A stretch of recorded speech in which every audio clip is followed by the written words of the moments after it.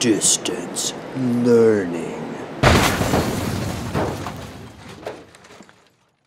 Today we're going to be talking about white balance. Um, white balance is how your camera figures out what color the light falling on your subject is um, so that it can render the colors of your subject in the most accurate way possible, right? In the most neutral um, way possible. So if there is sort of like bluish light falling on them, it wants to compensate for that and give you, you know, your white t-shirt still looks white. It doesn't look blue because it has blue light falling on it, right? Or if you have a, uh, you know, white dress on, right, and you walk into a room that is lit by candles, that's a very orange light.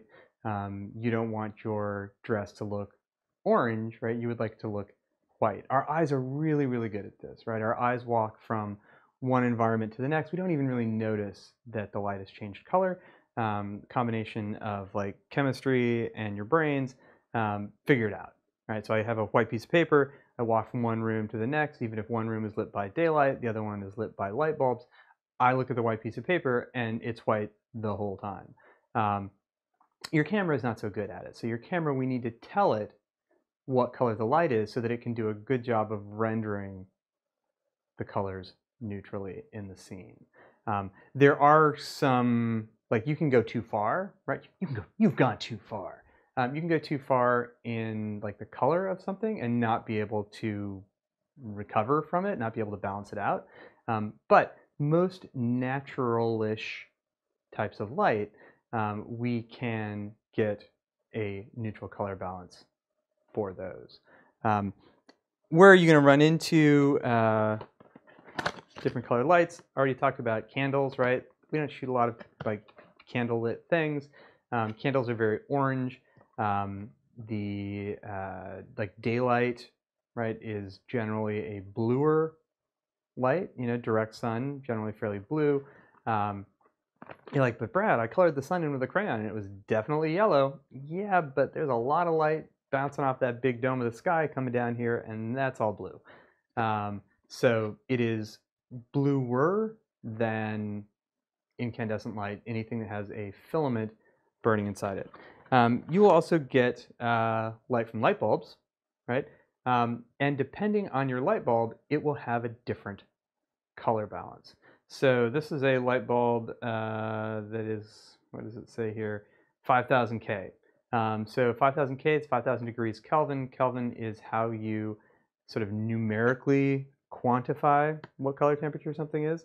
Um, a higher number means you're dealing with a bluer light. A lower number means you're dealing with a oranger, yellower light. So if you have a daylight balanced uh, light bulb, it is going to be a higher number like 5000 K. Um, these light bulbs right here, they say on the box, if you read it right there, uh, daylight, right? So these are daylight balanced. Um, if you buy them and put them in a room and there is sunlight coming into that room, um, the sunlight and the light bulbs will be roughly the same color. Um, more often, you get this light bulb, which looks identical in all respects, except that if I look at it here, it says 3000K. Um, on the box, it said soft white, right? Soft white, that's not a color, but it's light bulb speak for being a warmer light. Um, this is sort of the traditional color of normal light bulbs, right? If you go and like get a light bulb that has a filament in it, it's going to be around 3000, 3500, 3700, something like that degrees Kelvin. So problem is these look exactly the same. So you need to either look on the light bulb um, you need to look on the box of the light bulb. Um, that should tell you, right? Um, so by default, your average light bulb is going to be warm. Sometimes, though, it's cool. Dude, so cool, man. These light bulbs, man. Um, all right, so what do these things look like? Um, so I'm going to turn off the rest of the lights in the room so that we can just look at the light generated by this fixture. This fixture is great because I can actually turn it from a warmer tone to a cooler tone and we can see in real time how that changes. The difficulty that you're going to have um, viewing the video is that the camera that is doing the filming, right, has been set to a white balance, right? So it is going to render one of these white balances as more natural than the other one. Uh, luckily, I have another camera down here that I'm going to take a picture with, and that camera we can actually change afterwards, and you'll see it pop up um, demonstrating what the differences are. So, kill these other lights. Here we have uh, this lovely scene. Um, right now, my camera is set to a tungsten incandescent, right? It's all the same thing. Tungsten's the same as incandescent. Um, incandescent and tungsten are the same as like light bulb with a filament. Um, it's that warmer 3500, 3700 temperature uh, degrees Kelvin color temperature. Um, and because my camera is set to that and my light source is also set to that, then this looks pretty neutral.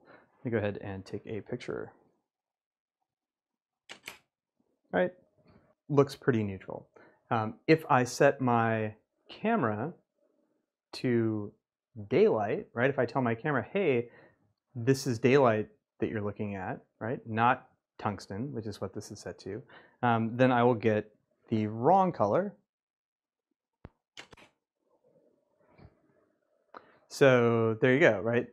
Set it to the wrong white balance. I set it to a daylight white balance. It's expecting everything to have this bluer light, and so it compensates for that by making the picture oranger, right? Since the picture was already fairly orangey, right? Because it's expecting it's uh, being illuminated with this um, like 3500K light bulb light.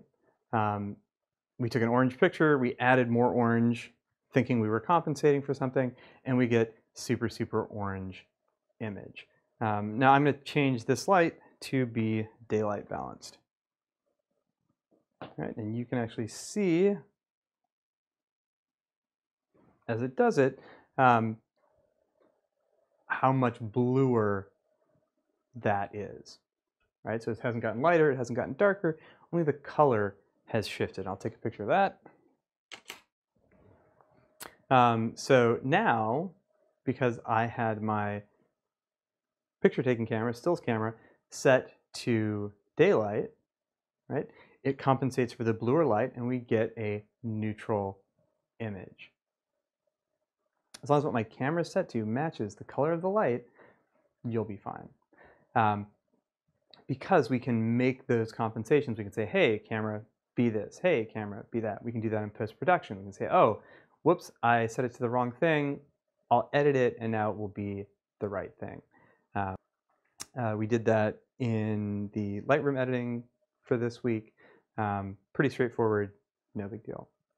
Um, the problem that we run into is when we have two sources of light um, and they are different colors, or our source of light is an extreme and more unusual color. So right now, um, most of the time we're dealing with stuff on a blue to orange spectrum of light. Um, if I make this light green, right, just by putting this big green piece of uh, stuff over the front of it. I'll do that and then take a picture.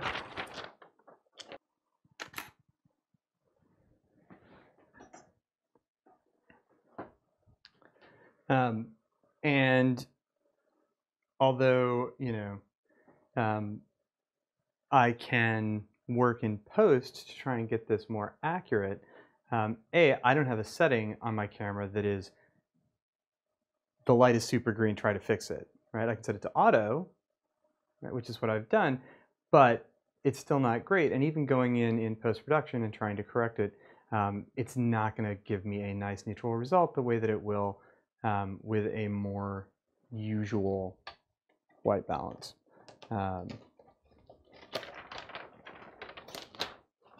So that was one problem we could have, right, was that things were uh, an extreme color. The other problem is when we have a um, mixed lighting condition, where I have, you know, maybe it is, uh, they're normalish light colors, but I have two of them, right? So I have to pick one or the other. I can't fix both. Um, common situation here, right, I have an interior that is lit by light bulbs, and then I have a view out a window to somewhere that is lit by the sun, right?